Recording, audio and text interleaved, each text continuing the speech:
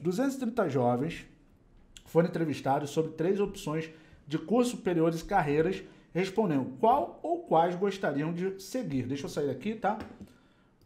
Qual ou quais gostariam de seguir, originando a tabela abaixo. Com base nesses dados, podemos afirmar que a quantidade de jovens que gostariam de seguir as três opções de carreiras superiores foi de. Ó, jovens, tenho medicina. Tu viu que eu nem olhei para a tabela? Porque nesse momento eu não sei o que a questão quer, então eu não tenho que me preocupar com a tabela. Tenho que preocupar em achar o comando dela, que é o quê? Qual foi o comando?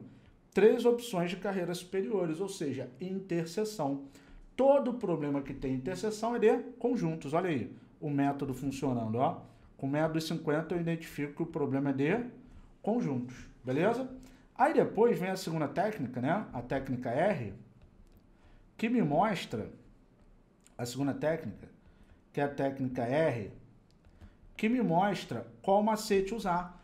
Cara, problemas com três. Você pode montar o diagrama, a gente até te ensina no curso a montar os diagramas, mas quando pede interseção de três, aí entra o macete do método MPP você soma tudo,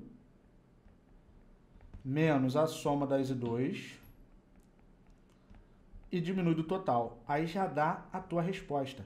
Sem querer corococó. O que, que é I3, Renato? Interseção dos três.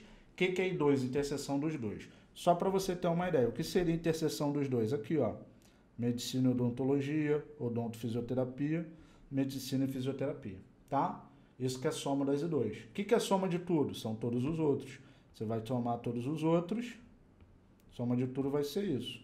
Beleza? Agora é só aplicar e ser feliz. E aí, a terceira técnica, a técnica 20-80, é 20% na teoria, 80% no exercício, que tu ganha prática. Então, tá aí, por isso que funciona. Então, deixa eu sair daqui. Então, vamos lá. Primeira coisa que eu vou fazer aqui é soma tudo, sai? Vamos lá. Soma tudo.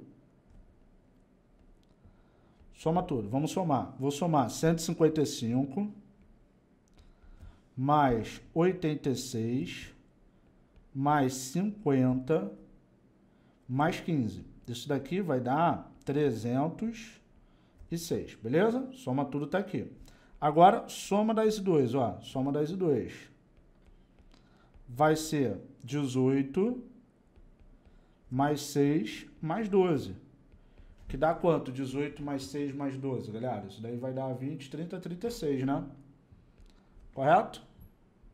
Show? 18 mais 6 mais 12. 36. Agora eu venho aqui achar a interseção dos três. Como é que vai ser a interseção dos três? Vai ser a soma de tudo, 306, menos a soma dos dois, 36, menos o total de pessoas que foram 230. Acabou. 306 menos 36 dá 270. Menos 230, isso daí vai dar 40. Qual é o meu gabarito aí? Gabarito letra E. Marco V da vitória.